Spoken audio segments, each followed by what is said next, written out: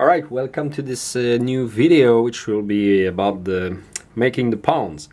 So uh, I'm gonna demonstrate making a pawn that will look uh, just like that actually. I already made uh, made one, actually I already made two of those uh, which look, look uh, pretty similar, at least similar enough to, to my liking and this is the design that I will be using.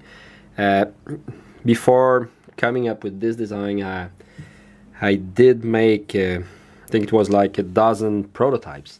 Uh, started with, uh, let me just show you the, the first one that I made was out of another type of wood.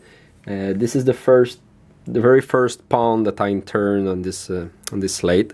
it was a little bigger, and it was pretty much similar but uh, it was a little freestyle, let's say, uh, and it was too big anyway. So, uh, and by the way, let me just talk a little bit before getting started about about the size of the pieces. Uh, this grid right here is, uh, is the exact same size of the board that I have uh, that I, I showed on the last video and the idea is that I want to make my pieces so that they they fit somehow on the on my board.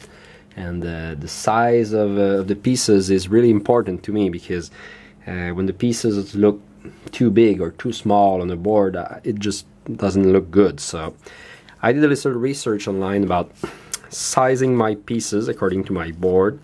And uh, one thing that I came across was an article uh, I, I don't remember the exact website where I found it but it looked really you know really good. And what they were saying is that the size of the pieces should be so that just like that you know two pawns should be able to to fit on one square.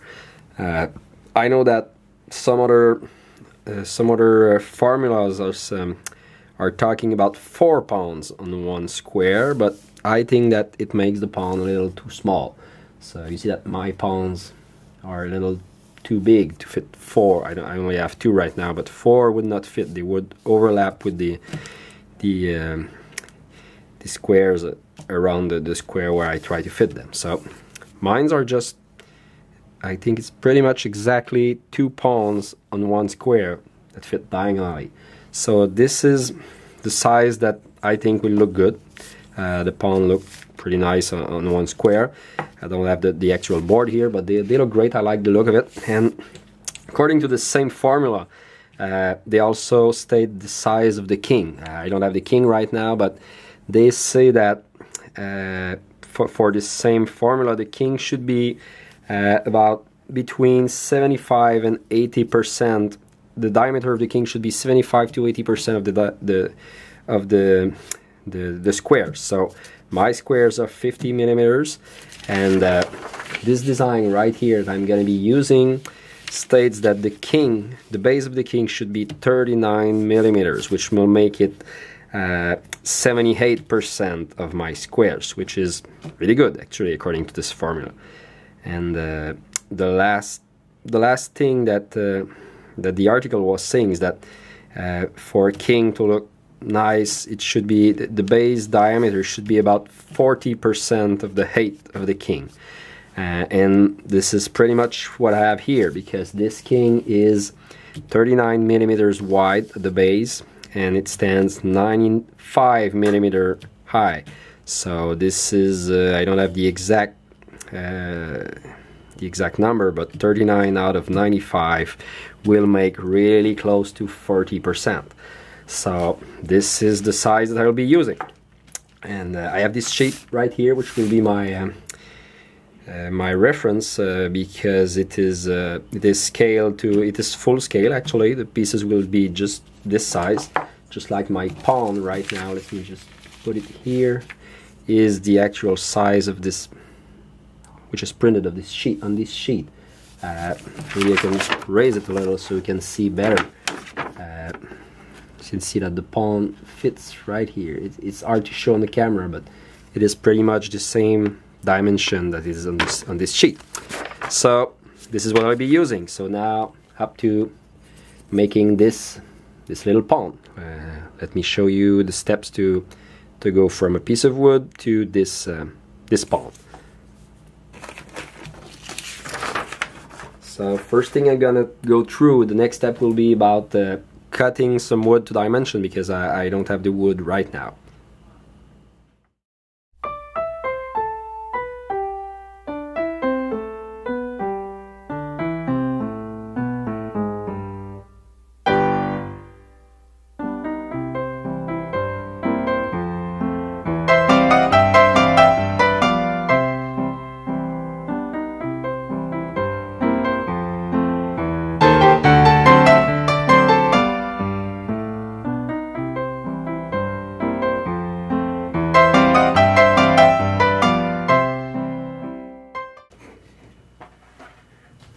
So pieces are ready. According to my calculation, those nine one foot long pieces of wood, two by two, should be more than enough to um, to turn all my pieces. So uh, we'll now get to round those uh, those pieces of wood and uh, then start wood turning them into pieces.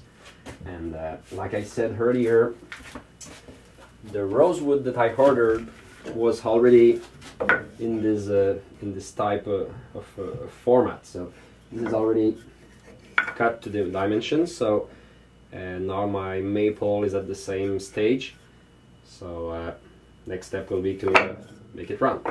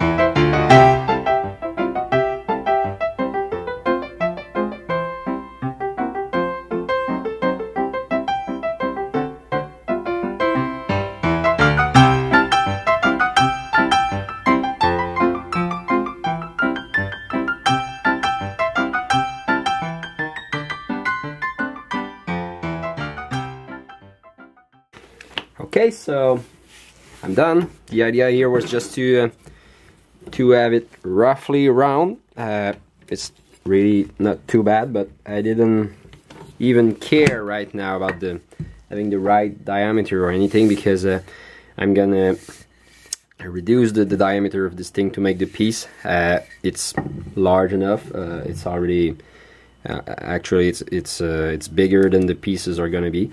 So next step will just be about uh, cutting this uh, this little this big dowel to to length. Uh, I will uh, cut one on the I will cut it on the on the miter saw off camera, and when I'll get back, I will have uh, a piece long enough to to make the pawn and to continue the process. Okay, now I have this uh, this piece cut to length here. this is gonna become my new pawn. So First step, I'm gonna chuck this piece directly in the scroll chuck. Just right like that. And uh, secure it here. And then I'm gonna just uh, rough it a little bit and use this moment to to drill the hole in the bottom of the piece so um, to, to, put the weight later on so I'm position it like that and uh, I will go on and use this uh, this drill chuck right here. Uh, first I'm gonna drill this, this, smaller hole for for the screw later on, I will show you in a minute. And then I'm gonna use this Forstner bit to uh, to, to drill uh, the hole that will hold the, the weight later, which will, are gonna be pennies. So let's do it.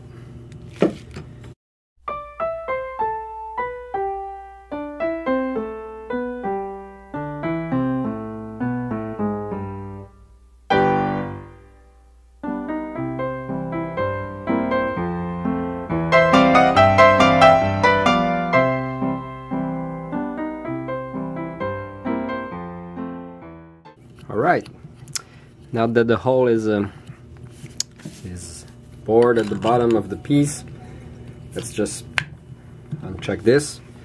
It's the hole right here. It's gonna be just fine. And uh, now it's time to introduce this uh, this little jig here that I made, which is uh, I was inspired by uh, some uh, some other people on YouTube who made this kind of stuff to hold the piece together. So uh, this is just a piece of wood that will I rounded that will go through the scroll chuck right here. And uh, this uh, this smaller part here fits the, the diameter of the hole that I just drilled. So just gonna make sure that this hole is clean. There's no dust in here. And uh, I'm just gonna go on and screw this just like that Okay, so it goes snugly a little at the bottom. Uh, I will go on and use a screwdriver to, to secure it firmly. Okay, now it's it doesn't have to be too too snug because uh, I had this piece of wood a break at some point where, when it was too too hardly screwed. So it just it has to be uh, hard enough not to loose, loosen while turning but not too snug. And I wrote those numbers right here. Uh, they correspond to the numbers of my of the jaws on my on my chuck uh, because I wanted to be at the same place that it was when I I did uh, make the jigs, so that I'm sure it goes dead center every time. Just gonna just gonna position it right here, secure it like that, and now the piece of wood is Zelden placed, I will be able to, the hole at the bottom is already done, and I will be, just a minute, able to, to make the whole piece without removing the piece of wood. So it will be just, just like that. So let's do it. Let me just reposition the camera so you can see, can uh, you can see better what I do, and uh, next steps we are gonna just just gonna be turning this piece. Alright, so first step is going to be reducing the diameter of this piece so that it fits uh, the base of the pawn. So to be using, uh, uh, first I'm going to be using the parting tool to reduce this very bottom part uh, to the right diameter and then I'm going to use uh, the roughing gouge to, to reduce the rest of the part.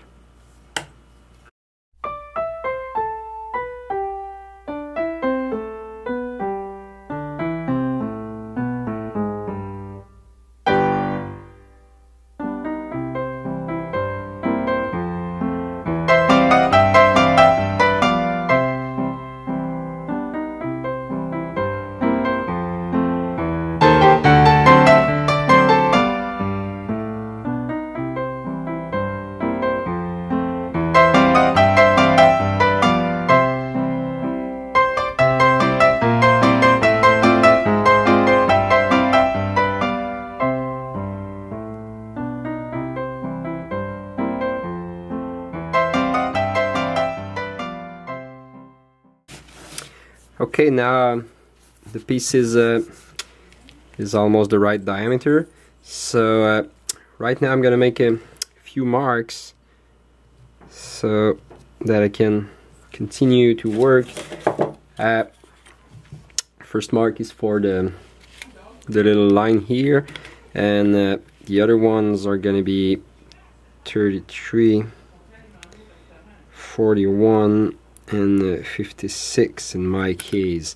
And uh, by the way just want to mention that I made this jig so that uh, when my ruler rests on the on the bottom of the of the jig, uh, it matches the the zero matches the start of the piece, so it's easier to uh, to uh, to use the ruler like that. So let me just mark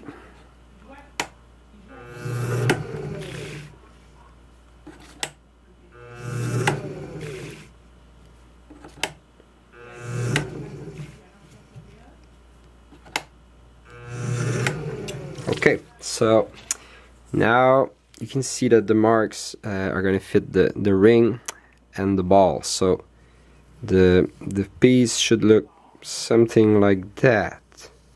You know, it's just a rough design, but gives the idea of, of uh, what are going to be the next steps. So I'm going to start by working on the bottom here.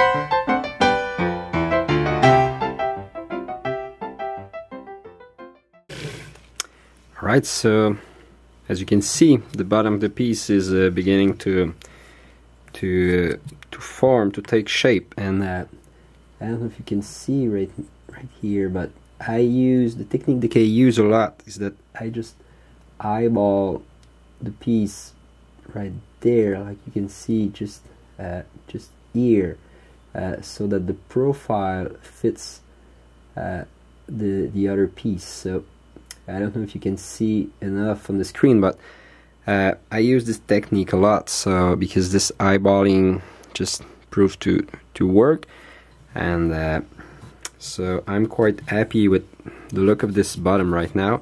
So I'm gonna continue and uh, work on the top part. So I'm gonna use the parting tool to reduce this part and this part so that they fit the diameter of the ring, the ball and then I'm gonna cut off the the remaining wood at the top and uh, for to finish cutting it I'm gonna use this tool right here which is just a, little saw. So I'm gonna use the parting tool to reduce it to smallest as possible and then I'm gonna use this saw to cut it off because uh, uh, going all the way through with the parting tool is not a, a really good idea because it makes uh, it, it tends to break and, and mark the wood. So Let's continue.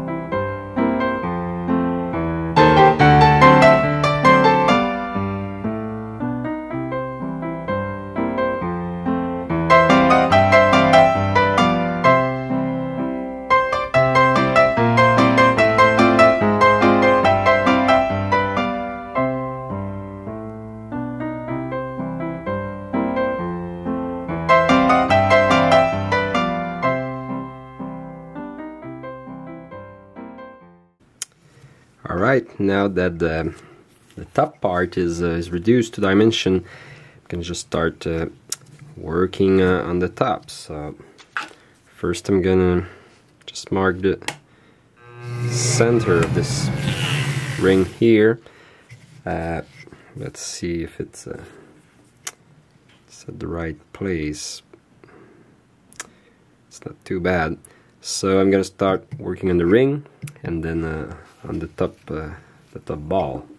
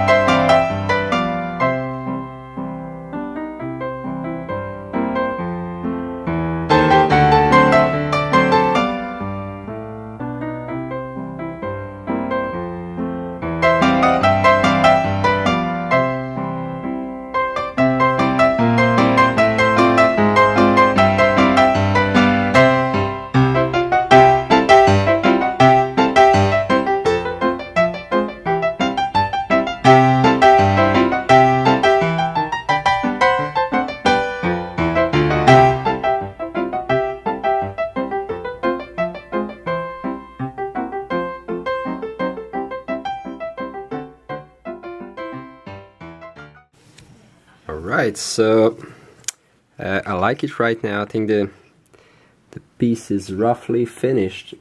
Uh, it looks pretty much like the other one. Uh, next step is gonna be sanding.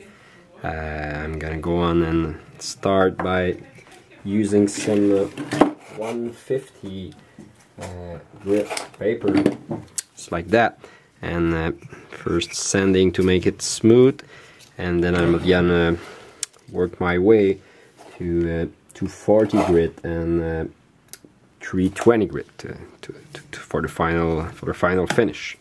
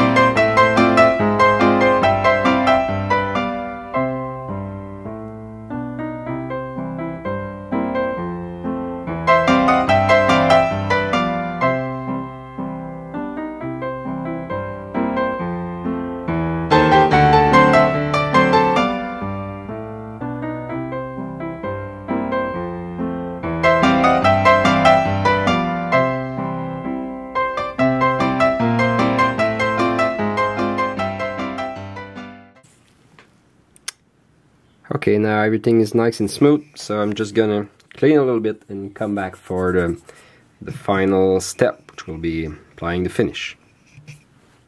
Okay, so uh, now I'm ready for, for the last step, which will be applying the finish on this, uh, on this piece. So I'm gonna use uh, this finish right here, which is, uh, is called uh, Shine Juice, actually. Hobie Shine Juice, named uh, for the guy who who kind of made it popular. Uh, this guy named Captain Eddie on YouTube who who has a video about about this stuff. So it, it's actually uh, one kind of friction finish, which is uh, just uh, one part uh, one part denatured alcohol. Just uh, this is the one that I have I have right here. Actually, it's called it's even called shellac thinner, but it's 95% denatured alcohol. So this one part, this alcohol, one other part is white shellac, uh, stuff like that. And uh, another part is uh, boiled linseed oil. So I just mixed uh, one third of each of those uh, ingredients into this little bottle right here. Shaked it very well and it gives this this stuff, which is uh, appears to be very popular amongst, uh, at least amongst the, the online wood turner community. So uh, this is a friction finish, so I'm just gonna apply it uh, directly on the wood using this little brush and then uh, rub it using this uh, paper towel. By the way, I always use paper towel, ne never never use a rag or anything because if uh, if the rag gets caught in the in the turning lathe, it can uh, things can go pretty bad. So paper towel, uh, a lot a lot safer. So let's go on and apply this stuff.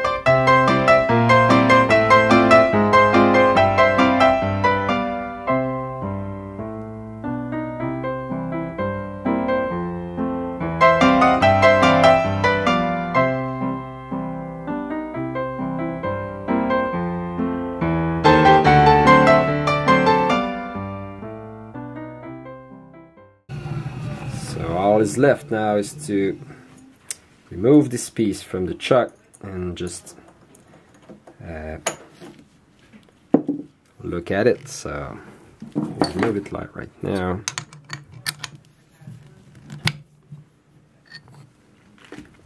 Gonna use the screwdriver to unscrew it a little bit so it gets easier to remove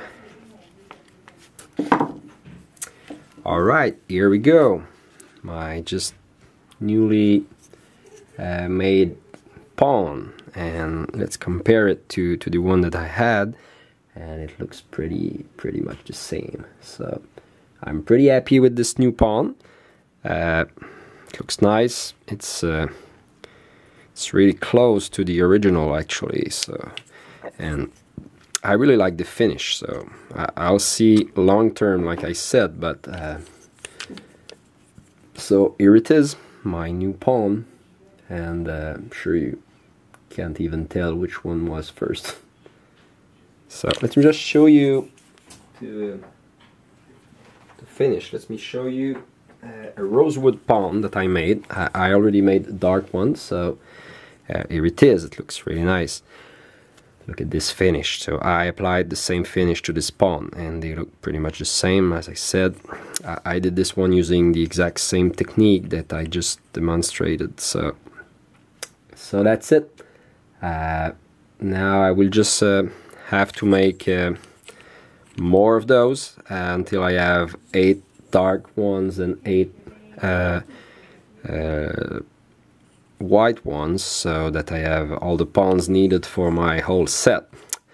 So I hope you enjoyed this video. Uh, I will be making some other pawns in the next next days and uh, the next video will probably be about uh, making the rooks for this chess set. So uh, I hope you enjoyed and uh, see, see you next.